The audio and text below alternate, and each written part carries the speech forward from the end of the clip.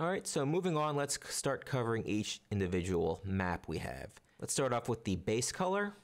The base color is quite self-explanatory, so just import your diffuse color for your hair, and you can just plug that right into the output node if you want.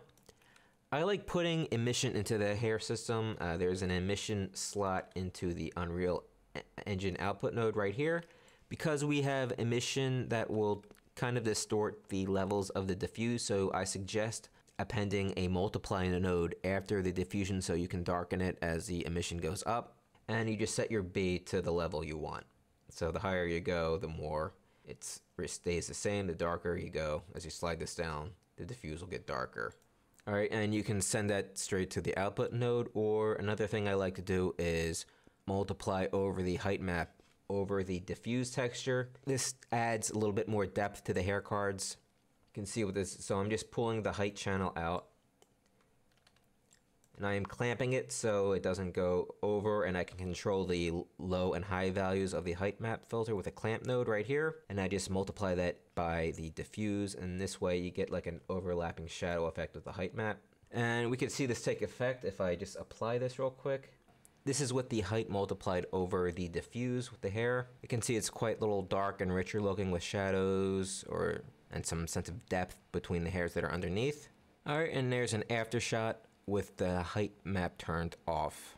Alright, and you can just plug that straight into the base color.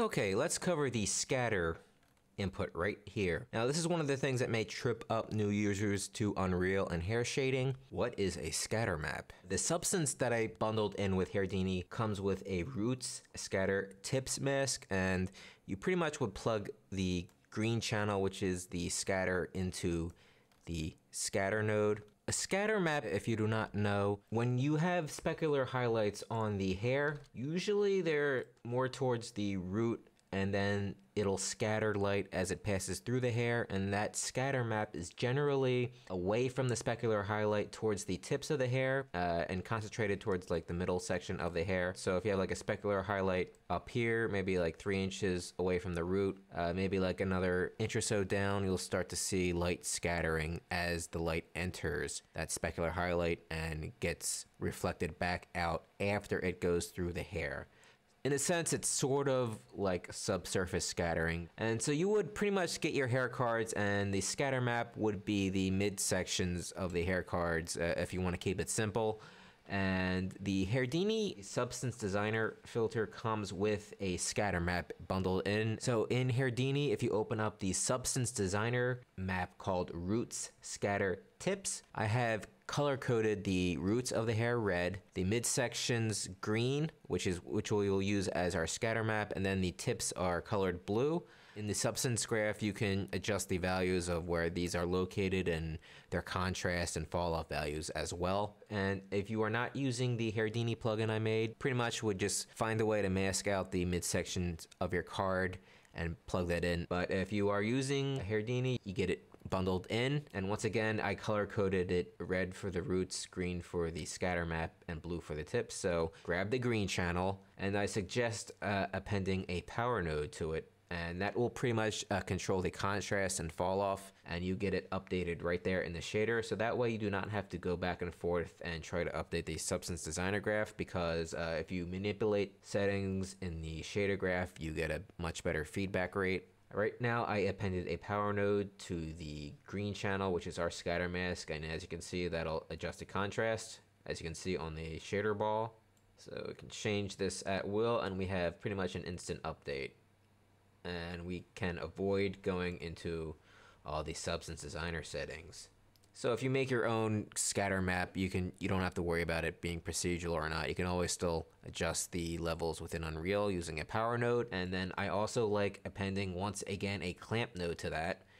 And we can start previewing that. And this way we can have control over our low and high levels.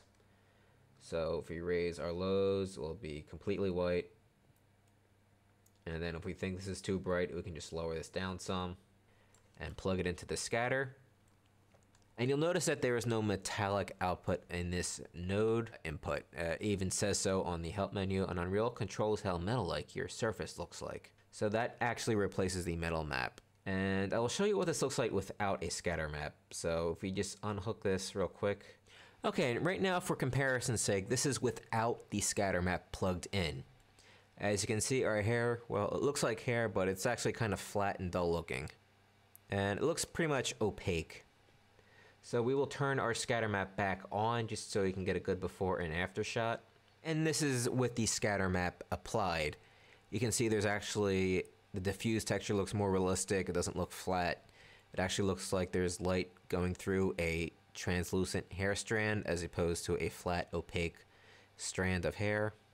And you can see subtle color changes as the light goes in and out. And so it's not really a big mystery if you're confused by it. It, you know, a long story short, once again, you just, it's the uh, mask value for the midsections of your hair strands. Uh, if you want to keep it simple, the specular highlight, you can just plug in a lighter value of your diffuse color if you want. Uh, I have a built-in specular map in the Hairdini substance.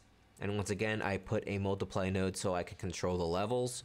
And the roughness map is self-explanatory. You should be able to bake one out when you do your hair cards uh, if you're not using Hairdini. If you are, the substance graph comes with a gloss map for the roughness values and we just do a 1 minus node after that to convert it to a roughness map since that is in opposite space. You can see it right there. There's a roughness map. You just plug that in. And the Hairdini substance also comes with uh, options to change the roughness value as well with the gloss threshold and gloss highs cap. So this will make it more glossy as you go to the left, more rough as you go to the right, and this will cap off your roughness value. Alright, so you can control it within the substance graph like I just did, or again, I don't want to beat a dead horse, but you can just always apply clamp nodes and power nodes to control the contrast and the uh, high and low levels of any map you put in. We have an emissive output in here uh, to help simulate some subsurface scattering effects. Honestly, that's as simple as just, you know, hitting the 3 key and making a color and then putting it into the emissive slot so right there, and you can just plug that in there, but I have set, I have this set up already. And again, it's just a simple color with a multiply node so I can darken it and adjust the settings as I wish. I have, you know, like a little peach colored emissive filter going on in here. Uh, if we can turn this up, yeah, look how fruity that is. That is way too powerful. So, all right, let's say we do not want emission. We can just control and drag it out. And you'll see it looks kind of bland and lifeless without emission. So we can see pretty much we're just working with the diffuse and scatter right now and it looks very dry and kind of opaque. It doesn't quite look like transparent hair. And the emission filter, you know, it does get rid of some sense of depth, but it's worth it because it does blend in the hair altogether because this looks rather scraggly without it. So it is it is a good blending method to, you know, just tie the whole wig in. Alright, up here I have this as an option. This is masking it out so the emission gets more uh, apparent at the ends of the cards as opposed to being all up and down the hair. When you think of backlit hair, it's usually at the tips. You know, you get the stereotypical photography shot where, you know, the tips are have this epic rim light and then the roots are kind of dark and hidden. So let's say you just wanted to have like a emission towards the bottom of the hair and not at the roots Here's a little trick you can use. You get the, you get the texture coordinate node. So you just right click, hit texture coordinate. And this has the UV values uh, for the object that you're applying this material to. And so you get a mask filter, which is called a component mask. And the hair cards in Hairdini, uh, if you have your own hair card system, your UVs, this may not work for you. So this is more Hairdini plugin specific. But the way I did the hair cards is that the the roots start at the top of the UV tile and then the tips are at the bottom. And so each hair card takes up a full tile from 0 to 1 in both directions. So if we want to make a mask out of the UV coordinates from the top down, we would just get, a, get our component mask and just make sure the green is checked because that is the Y coordinates or the V coordinates going up and down. And if we start previewing this, You'll notice uh, for some reason Unreal, someone explained this to me, but yeah, Unreal Engine for some reason is inverting the Y coordinates, so it should be black to white. I have no clue why. It has nothing to do with Houdini, and Houdini it's correct, but for some whatever reason, this should be opposite. So grab your UV coordinates, the V value, the Y value that controls up and down the height. You plug this into a multiply node, like I just did right there, and then we multiply this by our emission mask. Start previewing this, and you'll notice how it's gradually becoming more emissive as you move down the hair card and once I apply this, you'll see that the roots are no longer emissive, but the bottoms of the hair are. You can see the effect right here taking shape. So notice this is no longer emissive, and then as you move towards the tips, it becomes more emissive. All right, it's kind of hard to tell here from the actual model, but you'll notice it does get a little bit darker here. So those are the easy maps. These are pretty much self-explanatory. And then the ambient occlusion down here is self-explanatory.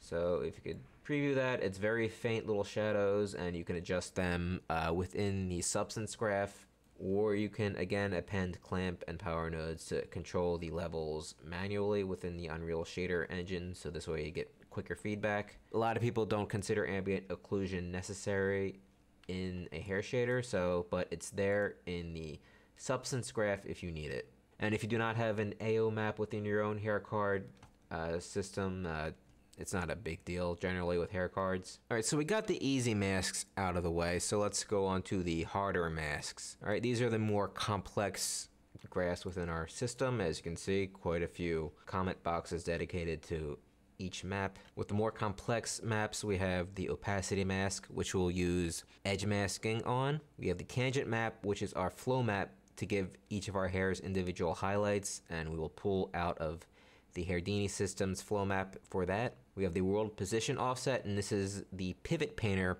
portion of our hair system. And again, the Hairdini system comes with a quick setup for pivot painter, so you don't ha not have to set it up manually ever again.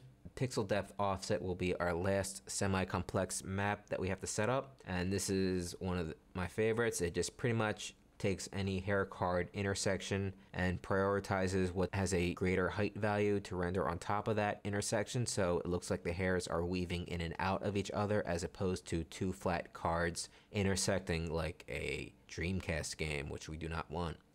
And FYI you'll see the backlit input right here Unreal Engine flat out says it's not hooked up to anything anymore and it doesn't do anything. So it's kind of like they never did, they just left it in there and never took it out. So this is not hooked up to anything, so do not worry about this. If you want to download the material file or see pictures of the graphs online for reference to follow along, please visit my website at psynema.com. You will find a setup guide for the Unreal Engine hair shader with Hairdini, or you can visit and follow my ArtStation page at artstation.com slash psynema. And that concludes part two of the Unreal Engine hair shader tutorial. In part three, we will cover the opacity input and edge masking. And that is not Hairdini specific or Houdini specific, so you can follow along at home if you use other software and just want to learn a bit about edge masking hair cards.